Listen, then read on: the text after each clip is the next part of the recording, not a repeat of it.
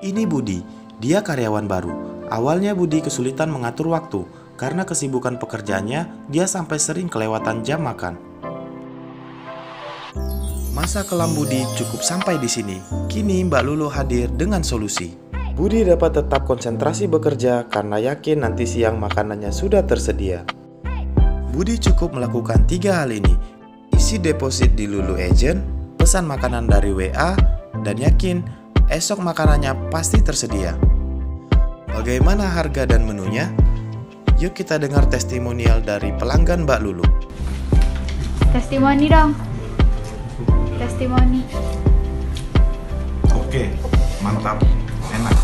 pokoknya nasi balulu itu enak murah terus membantu CPNS sekali Testimoni. Eh, bumbunya berasa bersih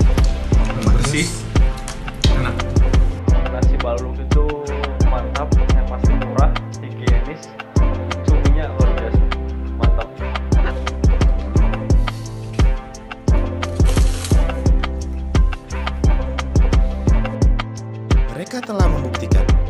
Ayo bergabung bersama Budi dan yang lainnya. Hubungi segera Lulu Agent. Video singkat tadi adalah contoh animasi yang dibuat dengan aplikasi Powtoon. Mau buat yang seperti itu? Yuk! Selamat datang di channel Orang Dalam. Saya Alvin dan ini adalah video jam tutorial. Oke, kita langsung saja. Langkah pertama adalah dengan membuka browser dan masuk ke situs Powtoon. Kita ketikkan Powtoon di mesin pencari Google. Pada hasil pencarian dia biasanya berada pada urutan paling atas dan ya ini adalah halaman awal dari Powtoon. Kemudian kita langsung login. Kita bisa login menggunakan akun Google. Saya ambil ini. Ya, next next. Nah, ini dia. Akun kita sudah jadi dan kita mendapatkan 4 hari masa percobaan untuk mendapatkan fitur-fitur premium, fitur pro yang harusnya berbayar. Kalau kita berbayar itu per, bayarnya sekitar 250 sampai 1 juta rupiah per bulan. 250 ribu sampai 1 juta rupiah per bulan. Namun jangan takut, biarpun nanti masa uji coba 4 hari ini sudah habis, kita tetap masih bisa menggunakan aplikasi Powtoon ini. Hanya saja ada fitur-fitur yang hilang. Oke, kita langsung aja buat satu dokumen baru. Oh iya, ini sebelumnya kita bisa menggunakan template-template yang ada di sini. Tapi untuk kasus ini kita akan membuat dari dari nol. Oke, kita klik aja. Di sini ada model-model yang bisa digunakan. Saya menggunakan yang kartun. Oke, ini adalah lembar kerjanya Powtoon. Di sini ada slide, lembar kerja, timeline, dan tools. Yang pertama slide. Slide ini sama seperti di Microsoft PowerPoint mungkin untuk gunanya kita bisa nambah slide dan mengurangi. Juga bisa mengatur eh, model transisi antar slide. Kemudian ada lembar kerja. Di sini kita akan bekerja. Di sini ada pengaturan untuk menu menu tools yang banyak atau yang sedikit. Di sini ada grid untuk garis bantu untuk meletak-letakkan objek biar untuk di tengah atau gimana. Di sini ada lembar kertasnya. Ada yang 16 banding 9 persegi atau potret. Kita pilih yang 16 banding 9. Dan ini gunanya untuk zoom in zoom out. Jadi sini adalah lembar kerja kita membuat animasi presentasi di atas ini save apabila kita ingin menyimpan. Oke, di bawah ini ada timeline. Timeline ini adalah inti dari animasi. Di sini ada waktunya 0 detik, 1 detik, 2 detik. Nah, ini menyatakan garis waktunya. 10 detik ini artinya presentasi ini satu slide ini akan berjalan selama 10 detik. Kalau saya kurangin bisa atau ditambahin juga bisa. Oke, di sebelah kanan ini adalah tools toolbar bisa kita bilang toolbar atau toolbox ini berisi aplikasi-aplikasi yang untuk berisi objek yang bakal kita masukkan ke dalam presentasi kita. Sini ada scene. Scene ini gunanya untuk uh, semacam template satu slide per slide dia. Jadi kita bisa per slide. Nanti teman-teman bisa uh, explore lagi masing-masing fungsinya. Di sini ada background teks objek dan lain-lainnya. Nanti bisa dicoba-coba sendiri oke sekarang kita mulai aja presentasinya.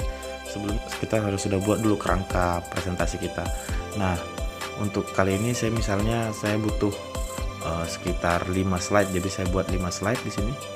Nah di masing-masing slide saya akan mengambil cerita dari scene. Ini toolsnya scene. Yang pertama itu biasa perkenalan ya. Saya ngambil ini saya pilih yang ini aja. Oke untuk slide kedua itu adalah masalah. Saya akan cari di sini masalah kayaknya ini ini. Oke yang berikutnya ini adalah solusi dari Mbak Lulu. Oke. Kita lanjut slide berikutnya. Dan biasa dan terakhir ini penutup ya. Oh, atau caranya caranya Mbak Lulu tadi ya ada tiga cara. Oke slide ini. Dan ini saya tambah satu lagi saya akan buat untuk penutupnya. Saya pilih ini misalnya. Ya. oke. Oke. Nah kita akan coba uh, kita akan edit edit masing-masing slide-nya. Kita mulai dari slide pertama. Nah ini. Oke saya akan mengubah. Ini. Kita biasakan menggeser timeline ini ke waktu di mana gambar objek yang mau diubah. Misalnya ini saya mau mengubah objek ini berarti saya di detik ketiga ini saya pindahkan. Dan objeknya ini mau saya ganti menjadi seorang pria. Saya pilih swap swap swap. Di people dan ini saya ada pilih toko. Nah di sini banyak toko ya dan banyak pose juga bisa dipilih juga posenya. Saya pilih yang pakai jas itu ada di sini. di bukan uh, ya di sini saya pilih dia pose yang melambai ya, yang bilang halo gitu ya. Oke kita sekarang namanya. Ini bisa saya ganti ketik Budi. Ukurannya saya perbaiki geser ke kanan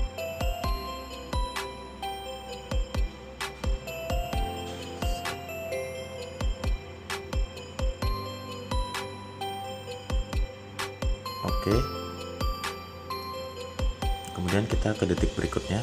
Sini ada panah saya nggak butuh jadi saya delete. Ke detik berikutnya lagi muncul tulisan ini ya. Saya buat dia karyawan baru. Oke selesai. Kita geser posisinya baik. Oke segini aja dulu kita pindahin.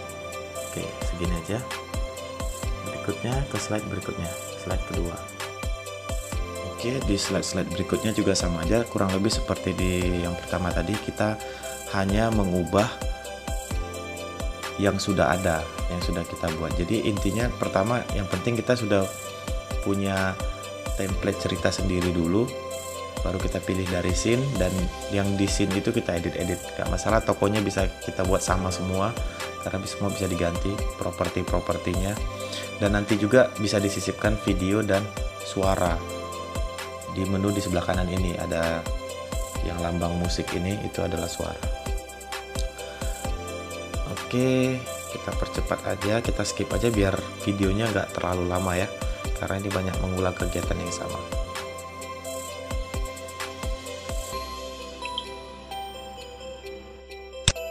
Oke, dan ini sudah selesai. Sepertinya sudah selesai. Jangan lupa menyimpan. Dan kita akan publish. Kita klik yang menu sebelah kanan ini. Dan yang di bawah ini untuk ekspornya. Nah kita pilih create. Create your personal button. Ini kita isi data-datanya. Next. Nah. Tunggu loading sampai dia muncul seperti ini. Nah kita sudah selesai mengerjakan video presentasi kita. Oke. Segini aja video jam tutorial kali ini. Like aja kalau suka, dislike aja kalau nggak suka. Berikan komentar kalau ada kritik, tanggapan atau pertanyaan. Jangan lupa menekan tombol subscribe dan lonceng agar kamu mendapatkan notifikasi untuk video-video dari orang dalam berikutnya. Sampai jumpa. Semangat pagi!